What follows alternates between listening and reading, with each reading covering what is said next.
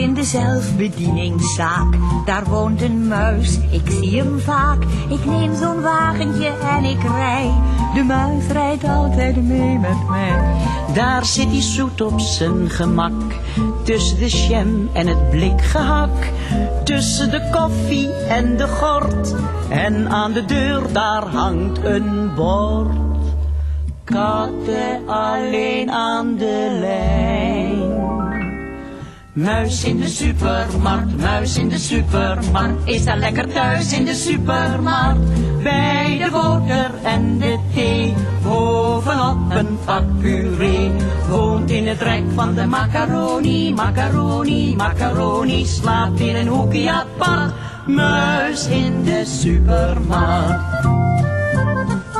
De klanten vinden het maar zo zo. Een dame gilde oh en oh en vluchtte in de diepvrieskast en vroor daar aan de iglo vast. Want dames zijn zo erg precies, die vinden muizen eng en vies. Ze klagen dat is toch te gek, er zit een muis op het bakonspek.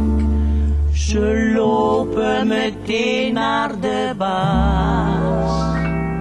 Baas van de supermarkt, baas van de supermarkt. Muis zit op de kaas van de supermarkt.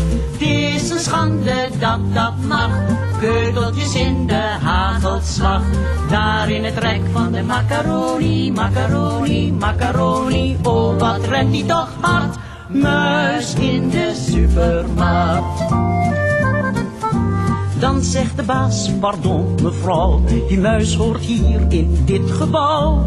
Ik zet geen val, ik neem geen kat, die muis blijft hier en dat is dat. Nu wordt de muis dus fijn verwend, door ieder die hem beter kent. Zodat die dik en mollig wordt en aan de deur daar hangt een bord. Katten